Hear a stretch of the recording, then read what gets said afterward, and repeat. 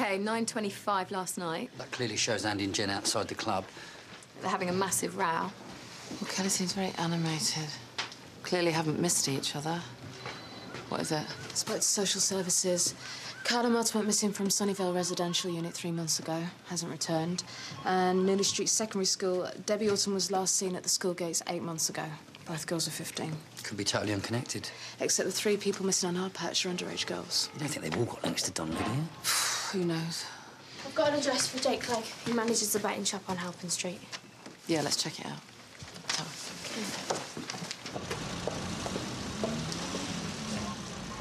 Hello, Jen. Are you going somewhere?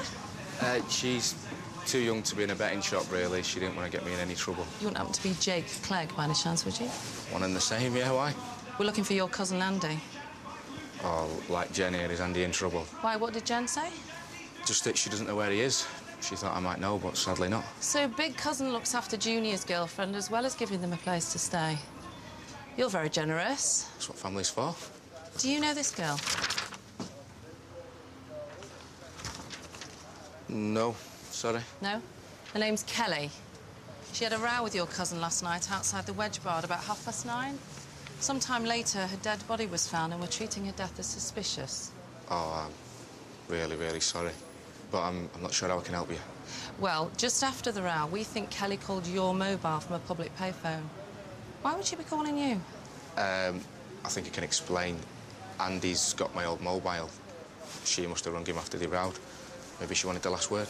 Is that where you were going when we came in, John? Uh, staff only, that, mate. Andy, you looking for someone? Hey! Get up! Get up! Wait! Your arms down, cuz. Just want to talk to you. What about? Leave him alone! We have footage taken from outside the Wedge Bar which shows you rowing with Kelly Porterfield. Care to explain? It was nothing. Well, if it was nothing, why did you lie and why did you run away, eh? Because I don't want to get the blame for something that I didn't do. OK, well, you tell us what happened then. Kelly was clearly very angry with you. Why is that? Could it have something to do with the fact that you groomed her, used her, and then chucked her out? Is that it? She was just jealous. Was she trying to warn you away from No! it? Did she tell you how he plied her with booze and drugs and showered her with gifts, just like he has with you? That tattoo on your wrist, did you know that Kelly had one the same? What's that about? Is that you trying to brand them? Did you do the same with Kyla Martin and Debbie Orton? Who? Oh, come on. Look, you've got it all wrong. We did see Kelly last night, but she took a fit because me and Jen were together. She was just jealous, nothing else. So you two have a stinking row, a few hours later she's dead, and you expect me to think that you had nothing to do with that? That's right. I didn't. Jen, no, don't. Don't what? I have to. You have to what? Andy's telling the truth. He had nothing to do with it. I killed Kelly. Kelly's death was my fault. I wanted to put things right after the argument, so I went back to see her later on, by myself, Where did you find her? near the Green Archer, in the alleyway. I explained I didn't want to fight. We sorted things out. I went and scored some drugs. But you told me earlier that you don't do drugs. I don't, but Kelly did, and she wanted some. Kelly was already out of it. Asked me to get it and inject for her. We went down the alleyway. I must have done too much. I, I swear it was an accident. What time was this? Midnight. So when you realised what had happened, what did you do? You just run off? No, I, I took the needle out, propped her up against the wall. Then I ran off. What if she is telling the truth? I don't think she is, sir. Jen is devoted to Andy. She'll say anything, especially now we have him cornered. And if she's guilty, it'll be her prints on the needle. If not, there'll be Andy's. Joe? Eddie sent me to say they're checking Andy Donnelly prints now. Great. Can you get him to check his cousin Jake's prints too? They'll be on here because I gave it to him earlier. We also need to go over the CCTV from the Meteor Club. We know Jen and Andy went there. We need to double check what time they left. Okay. Anything else on those missing girls? Carla Martin was still chasing, but this one, Debbie Alton, was done for shoplifting in Glasgow three months ago. She ran away to Glasgow. They could be completely separate cases, couldn't they? Except we spoke to the school Debbie used to go to. Before she disappeared, she was sent home for having a butterfly tattoo on her wrist. We'll keep chasing up Kyla Martin. Let's see if we can find her. So, They can't all have been involved with Andy Donnelly, can they? I mean, he's hardly more than a kid himself. Well, it's still possible that he grooms him, uses him, then moves on to the next one. I'm still tempted. That we're missing something? Recognise any of these girls? No. Well, like Jen, they're all from the Sun Hill area. And like Jen, they're all underage. Don't know them. Okay, let's suppose that you don't know any of them. You and Jen are madly in love. Kelly's just a jealous ex. Right. Wrong. Do you know why? Because before she met you, Kelly was your typical teenage schoolgirl. Within a year, she's a street prostitute and a drug addict. Now, that transformation happened for a reason, and that reason is you. Now, why did she do a runner? What went on when she was with you? Because there was something happened that freaked her out, wasn't there? It just ran its course. Do you want to tell us what really happened after that row with Kelly last night? I told you. I went clubbing. Then what? Went back, tracked Kelly down, and got Jen to cover for you? I went out clubbing, then I went home. That's all. I, I don't know what else you're talking about. I don't think Donnelly is going to cave in easily, sir.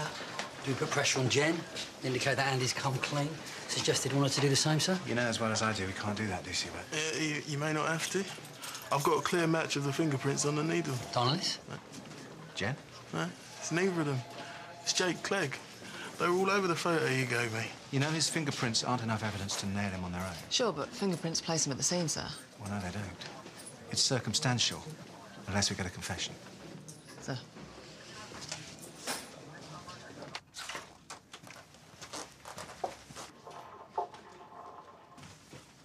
You need some water, Jen? No.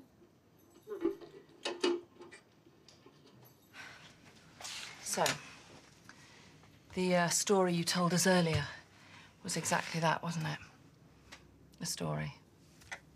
No.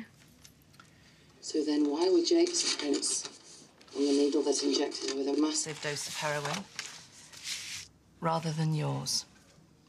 See, we think Kelly was killed by Jake, not Andy. So you don't need to cover for Andy anymore. Andy doesn't need you to.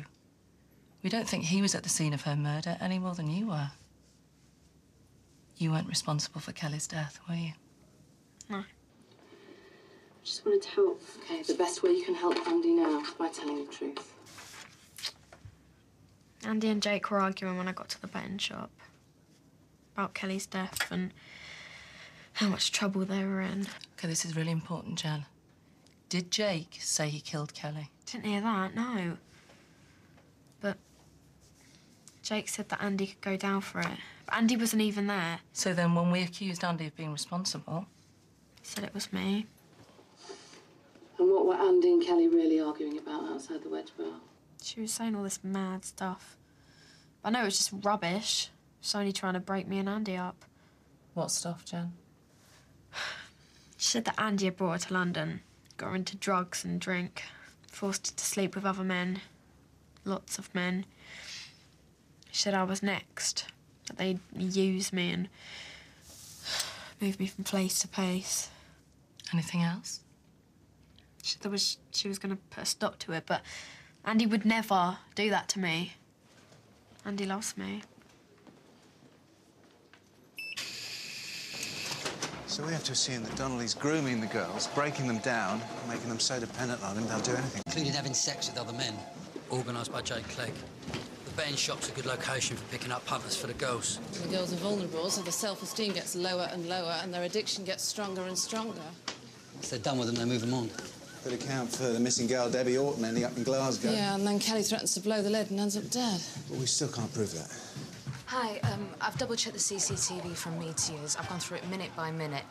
Andy and Jen arrived at Meteors at 9.45 and left after 2. Neither of them left in between. But someone else did, though. Jake. He left just after 11. That's plenty of time to find Kelly. I think it's time to put Mr. Jake Clegg on the ropes. Can you tell us where you were last night about midnight? At home. Anyone verify that? I live on my own. Surprise. Your fingerprints were on a needle that injected Kelly Porterfield with a lethal dose of heroin. How do you explain that? Well, why do I have to? To avoid going to prison. Well, in that case, up until a few months ago, Kelly rented a flat off me. She She couldn't keep up with the rent, so we had to kick her out. So I packed up her things for her, including all of her drug stuff. Put it in a bin bag and left it on the doorstep. Maybe my fingerprints got on the needles that way. And you really expect me to believe that? Well, if you can't prove otherwise, yeah. Can you tell us why you denied knowing Kelly after we showed you a picture of her? Look, I, I am sorry about that. But I knew it was Andy's ex, and I didn't want to say anything until I'd spoken to Andy first. OK, Mr Clegg. What can you tell us about underage girls coerced into sex, repeatedly assaulted, presumably prostituted for money, psychologically damaged, turned into addicts, and then trafficked around the country? Does that sound familiar? I've never heard so much rubbish in all my life. Really?